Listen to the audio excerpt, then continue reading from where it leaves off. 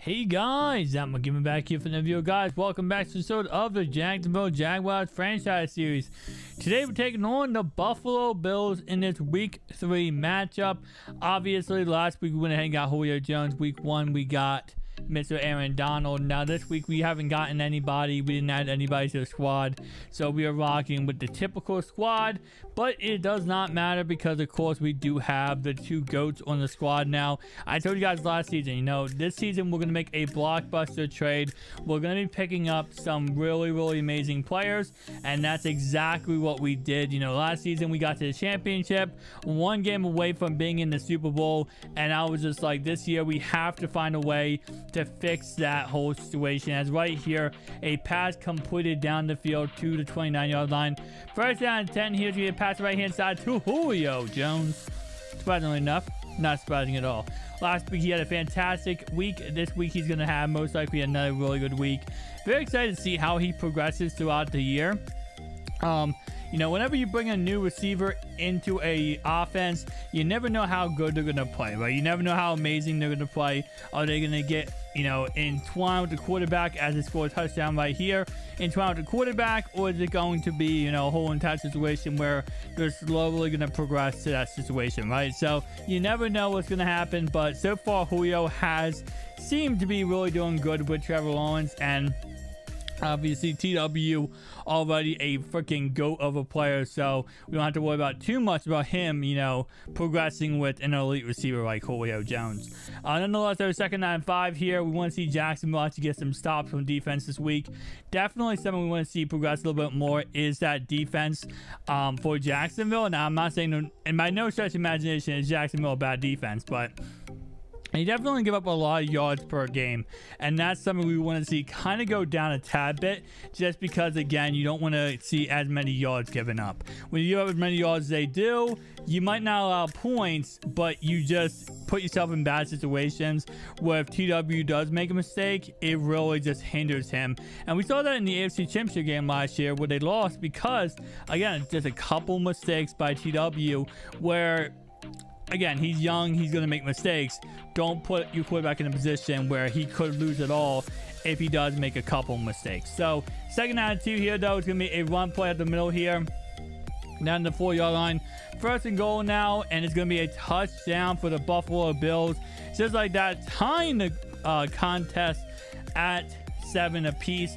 Next drive later, the Jacksonville Jaguars starting this drive off on the ground here. Next play later, it's going to be a pass play here It ends up being a fumble by Jacksonville, picked up by Buffalo, and they're going to return it to around the 10, 11 yard line. So just like that, um, like I said before, simple mistake by this Jacksonville Jaguars offense. Do not put your quarterback in a situation where, you know, one simple mistake could cost them the game. And it looks like Jacksonville's defense not holding strong so far. Let's see if they can go ahead and actually fix this because they definitely cannot give up a touchdown here as they do give up a touchdown there. A run up the middle by Devin Singletary. Next play, a little a deep pass here is incomplete looking for Shenault and it ends up being a roughing the passer call so that will give them the ball first down plus 15 yards. Obviously though they rather hit that deep pass right there. Could have been a big play if they were able to hit it but Next play later, to be a screen pass here down to the 46 yard line, almost at midfield here. Next play later, though, Julio Jones. Welcome to Jacksonville as Julio scores a tutty, tying the ball game up at 14 apiece. So first down 10 here, Aaron Donald comes in and gets the sack. Brand new addition. Excited to see how good he can play as he does go ahead and play throughout the season. Next play, a little pass to the side is completed, but this does mean that Jacksonville might have a chance to get the ball back for halftime, and a big run right here will not give them a tutty. Give them a first down. So that's going to get the ball back to Jacksonville. And they're going to throw a tutty the first play when they get the ball back to Julio Jones. Just like that, going ahead and going 21 to 14 at halftime. Coming out of halftime now, Buffalo only down by seven, but they need to go ahead and score a touchdown because Julio is getting going. TW is getting going. This Jacksonville Jaguars offense is getting going. Like, there's a whole bunch of issues when it comes to whenever TW and the Jacksonville Jaguars are getting going, you don't want to be on the other side of that. We have seen many, many times this team blow out teams because of the fact that they get going. And once they get going, it's not a good look. So nonetheless, the second down one here at the 45 yard line. It's going to go and be another run play at the middle here. This one for another first down. And Jacksonville's defense simply not able to contain this Buffalo Bills offense. Very disappointing in that aspect. But again, like I said, you know, we're just, we got to see some progression by this defense as time goes on. You know, how much progression, we had, we'll wait and see on how much progression they can actually do. But definitely something disappointing so far. Second down seven here, pass for another first down by Jacksonville Jaguars. Uh, first down 10 here. It's going to be a run play at the middle here. Goes absolutely nowhere. Good stop right there. Second down 8 though. Another pass play here. This one all day to throw it. And another sack by Aaron Donald. Bringing up third down 20 here. It's going to be a pass to left hand side completed, but they will have to punt on the play, which gives Jacksonville the ball back and a chance to be great as Trevor Lawrence gets sacked right there and does end up losing his uh, X Factor ability. Bazooka. First, second down 14 here. Pass left hand side completed to Chark down to the 28 yard line. And the clock is ticking, boys. It's to be a pass play here. This one completed to Julio Jones, of course as he's having a fantastic game. Already two touchdowns, already over 150 yards on the day. Absolutely manimal. He could have done a pass right there. That would have been a very ballsy catch. A pass right there if he would have thrown that. He definitely could have, but he didn't. As he completes a pass right here, Travis Etienne. Actually, James Robinson down to the 37 yard line. Clock is ticking though. Them moving the ball pretty effectively and running clock. Definitely something you want to see. Uh, there's no more mistakes in all honesty. They can't afford any mistakes here. Second down and four here. It's to be a wall to the left hand side. And it's to be a pass across his body completed to Julio Jones down to the 20 yard line. First down 10 now at 20 yard line. Some motion in the ocean here. It's going to be a run to right hand side and he's going to throw the ball away. Simply nobody open on the play. Second down and 10 here. It's going to be a pass to the left hand corner and ends up being pass interference on the play, which will give Jacksonville the ball at the one yard line possibly giving them the game sealing touchdown.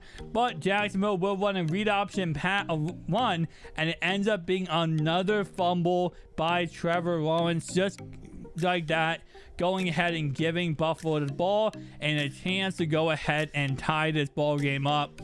Again, it's just simple mistakes like that you got to hold on to the ball if you're Trevor Lawrence there. I know you're getting, you know, hit. He read that correctly. The linebacker went inside for the running back, which, again, usually leaves the guy on the outside wide open to run it in the quarterback. But, again, you just got to be a little bit smarter there. You can't take a risk like that in a situation. Even if you could get a title yourself, just hand the ball off, run the clock, possibly get a touchdown, and definitely mistakes were made right there. Nonetheless, though, the Jacksonville Jaguars defense is going to have to go ahead and make a play, which they haven't done really all game, but they're going to have to make a play in this game, and it has to come right now. This has to be the play where they go ahead and change stuff around.